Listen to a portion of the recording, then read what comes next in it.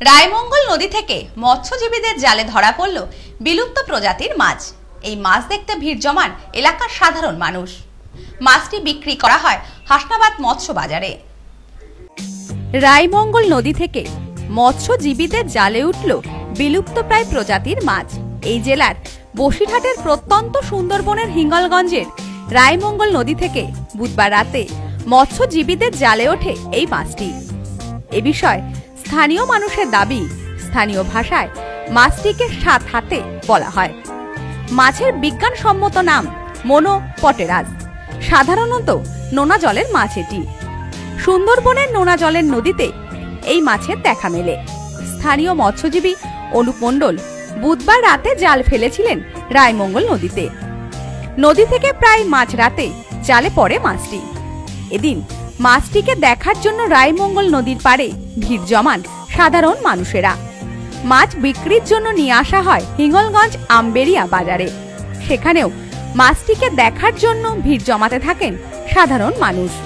জানা গেছে, প্রায় ছ ফুট লম্বা, সাড়ে তিন কেজি ওজন মাছের। মৎস্যজীবীরা জানিয়েছেন, এলাকা বিশেষে ভিন্ন ভিন্ন নামে পরিচিত এই মাছ। স্থানীয় এক বাসিন্দা জানান, অতীতে এই মাছের গল্প শুনেছেন। তবে এত বড় মাছ আগে তিনি দেখেননি। এখনও দেখেছি, তবে ছোট। তবে এর আগে আমার ঠাকুরদা গল্প করতো, সাঁতাইতে মাছ নাকি গোলা সেদ্ধ করে ধান খেয়ে যেত। তবে সে সেসব বড় বড় মাছ। তবে এই মাছটা এই দেখা যাচ্ছে, এটা সাড়ে তিন কিলো ওজন আছে। তবে তিন তিন থেকে সাড়ে তিন হাত লম্বা আছে।